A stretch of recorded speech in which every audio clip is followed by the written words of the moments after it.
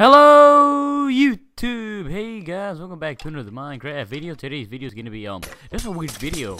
So as you can tell by the title, I have found something really weird in Minecraft. Um you'll see it real soon. As you can see it all the way in the background, if you look all the way back there, you'll see a village, and that village is actually pretty glitched out. When I started building, I was like, whoa, what the heck is this? This is a voiceover, so yeah. I was like, wait, what is happening here? I was recording, I was building, and then I found this thing. I was like, why is there a double stacked village? Now, I already found this, but I want to go over here and look at this again, just to show you guys, and just look at this, a double-stacked village. I think Minecraft just glitched out for me. Um, I've never seen this before. Comment down below if you've seen this before. I think I might be the first person to find this before, uh, but if you haven't, you go ahead and comment down below saying you've seen you've seen this before. Sorry for my mess up right there, but yeah, this is actually pretty weird.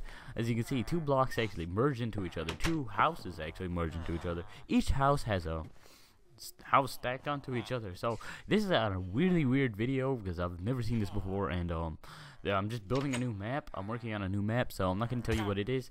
But um, as you can tell, you can already saw it a little bit there, but um, it's barely gotten started. But as I as I like said, I've never seen this before, so yeah, so.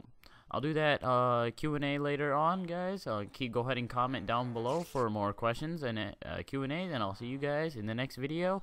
I'll leave a link in the description to that video, and I'll see you guys in the next video.